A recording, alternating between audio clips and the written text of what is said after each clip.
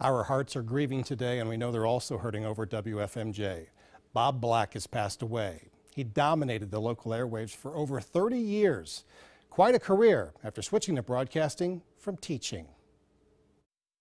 Good evening. It's 5:30. Time for the Mahoning and Shenango Valley's first news. Thank This Bob is speaks first, first. news at 5:30. We'll add the super and fake Bob pin Black. on there. Good evening. I'm Bob Black. Bob Black's television career started at WKBN in 1978 as a weekend sportscaster.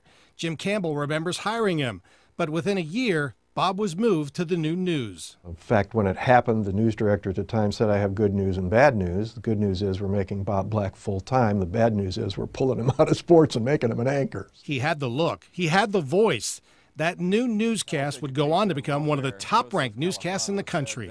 Number four in the United States. I was very impressed with that.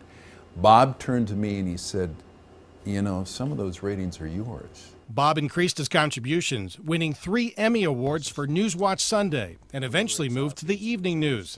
He was always prepared. What you saw on the air was the same way you saw him in the newsroom.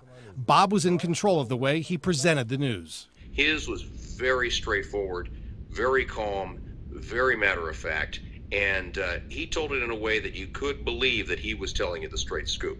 He didn't give you his opinion, he gave you the facts, and he wanted to give you all the facts. Bob Black's death becomes the third in the last dozen years of prestigious, trusted newsmen in the Valley. Tom Holden passed away in 2005 and Don Guthrie in 2015. Up in heaven, there's a great newscast right now between Tom, Bob, and Don. What do you think about that?